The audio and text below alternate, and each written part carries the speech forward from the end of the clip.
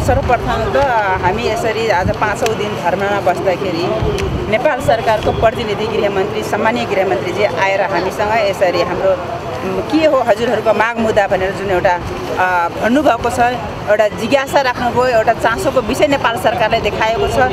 यो विषयमा चाहिँ हामी नेपाल सरकारलाई र गृहमन्त्रीजीले धेरै धेरै धन्यवाद र स्वागत गर्न चाहन्छु। पहिलो कुरा यो अर्को कुरा उहाँहरूले जसरी हामीलाई वार्ताको लागि आह्वान गरेर जानुभयो नेपाल सरकारले चाहिँ वार्ता कमिटी बनाउँछौँ तपाईँहरूले पनि एउटा वार्ता समिति बनाउनुहोस् भनेर भन्नुभयो।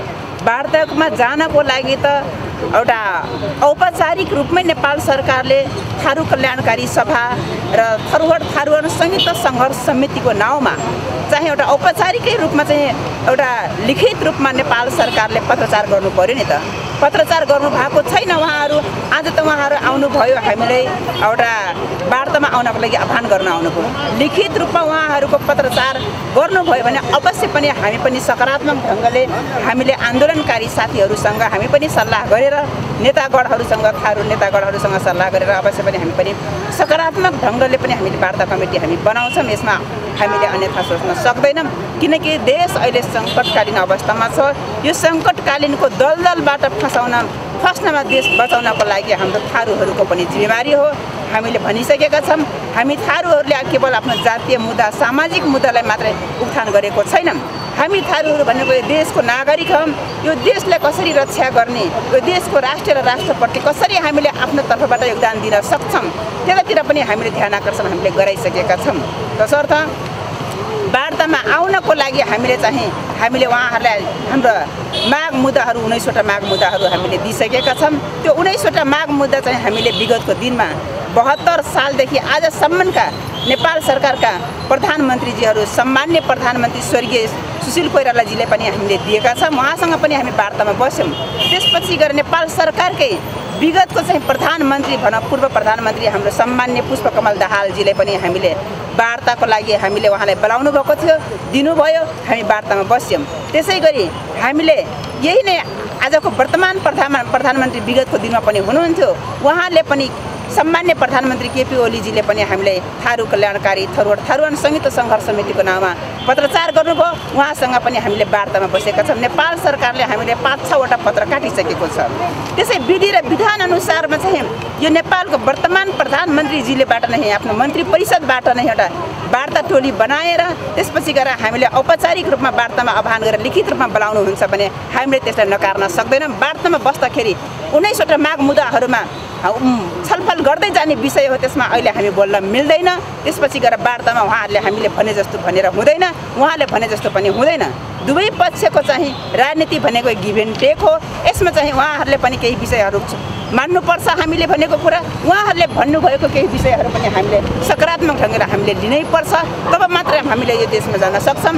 तसर्थ हामीले चाहिँ हाम्रो पहिलो माग मुद्दा के छ भन्दाखेरि चाहिँ हामीले भनिराखेको छौँ कि टिकापुर घटना नितान्त एउटा राजनीतिक माग मुद्दाको घटना हो। देशमा त्यति बेला संविधान जारी हुँदै थियो त्यति बेला सबैले यो देशमा सातवटा प्रदेशहरू बनिराखेको थियो। थारूहरूले हामीले भनिराखेको छौँ यो देशमा हामीले पनि स्वायत्तता देऊ। हामीले स्वशासन देऊ। हामीले आत्मनिर्भरको अधिकार देऊ। हामीले पनि यो देशमा समानुपातिक प्रतिनिधित्वको ग्यारेन्टी गर। हामी पनि यो देशको नागरिक हौँ। यिनै विषयलाई लिएर हामीले चाहिँ माग मुद्दा अगाडि बढाएका छौँ। त्यो भनेको त्यही विषयले लिएर स्वायत्तताको विषयमा हामीले थरवट राज्य देऊ भन्ने क्रममा चाहिँ टिकापुर घटना। जसरी एउटा रहस्यमय घटना घटायो त्यो रहस्यमय घटना कसले घटायो भन्ने विषयमा नेपाल सरकारलाई सबै निकायले प्रतिवेदन बुझाइसकेको अवस्थामा छ। त्यो प्रतिवेदनले बोल्दछ दोषी को हो निर्दोष को हो अझ म तपाईँहरूले भन्न चाहन्छु त्यति बेलाको संविधान सभा सदस्य म थिएँ। त्यो पार्लियामेन्टमा त्यति बेला तात्कालीन गृहमन्त्रीजीले बोल्नुभएको छ कि टिकापुर घटना थारूले घटाएको घटना होइन। टिकापुर घटना दक्षिणबाट आएका हुलका हुल भिजिलेन्टेहरूले घटाएको घटना टिकापुर घटना एउटा घुसपेट भएको घटना हो भनेर उहाँले पार्लियामेन्टमा बोल्नुभएको छ।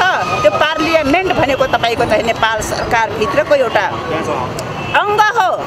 त्यो अङ्गमा जाँदाखेरि तहाँ पनि अहिले पनि भिजुअल रेकर्ड छ र त्यही सँगसँगै हामीले भनिराखेका छौँ टिकटपुर घटनामा चाहिँ आठजनाको एउटा एउटा नि विकराल जुन दुःखद घटना घटेको छ त्यो घटनाप्रति अहिले पनि हामी थारू कल्याणकारी सभा थरुवट थारुवन संयुक्त सङ्घर्ष समिति हामी निकै दुःख छौँ दुखित छौँ र कुनै न कुनै तत्त्वले घटना त नघटेको त होइन नि त।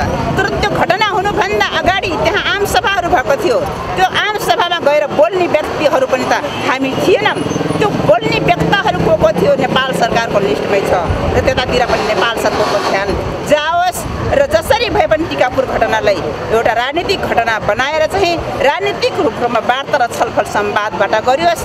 हाम्रो थारू कल्याणकारीको केन्द्रीय अध्यक्ष इन्जिनियर धनीराम चौधरी यही सडक विभागको इन्जिनियर उहाँको उहाँको कार्यक्षेत्र त्यति बेला नै बुटोलमा हुनुहुन्थ्यो र उहाँ र त्यही बेला उहाँले यहाँ आउँदाखेरि टिकापुर घटना घट्दाखेरि ऋषि धमालाले पत्रकार सम्मेलन आयोजना गरेकोमा उहाँ रिपोर्टर्स क्लबमा हुनुहुन्थ्यो। उहाँ दुई बजे उहाँ रिपोर्टर्स क्लबमा बोल्दै हुनुहुन्थ्यो। उहाँ टिकापुर घटना घट्यो र रिपोर्टर्स क्लबको मा बोलिराखेको मान्छे कसरी गएर टिकापुरमा घटना घटाउनुहुन्छ त? कल डिटेलहरू हेरेको छ नेपाल सरकारले कहीँ पनि देखिएको छैन। फिर भी उहाँमाथि लगायत हाम्रा माननीय रेशम चौधरी लक्ष्मण थारू। थारू कल्याणकारीको जिल्ला सभापति लाहुराम थारू लगायतले चाहिँ झुट्टा मुद्दाहरू लगाइएको छ यी झुट्टा मुद्दाहरू राजनीतिक तवरबाट नेपाल सरकारले छिटोभन्दा छिटो फिर्ता गरियोस्। यदि फिर्ता गर्ने वातावरण बनिराखेको छ भन्ने कुरा हामीले सानै भए पनि अनुभूति भइराखेको छ र त्यही सँगसँगै हामीले उठाइराखेका छौँ थारूहरूमाथि। यो मुलुकमा धेरै अन्याय र अत्याचार शोषणहरू भइरहेका छौँ हामी भनिराखेका छौँ। थारू मधेसी होइन। थारू भनेको यो देशको धरती पुत्र हो। थारूहरू भनेको यो देशको आदि देशको चाहिँ मूल आदिवासी हो यो देशको चाहिँ तपाईँको चाहिँ थारूहरू भनेको नेपालको विभूति हो। नेपालको विभूति हामी यो मानेमा दाबी गर्छौँ कि भगवान् गौतम बुद्ध। भगवान् गौतम बुद्धका सन्तान थारूहरू होइन कि स्वयं एउटा मायावती थरुणले जन्माएको सन्तान भगवान् गौतम बुद्ध तसर्थ भन्छौँ हामी।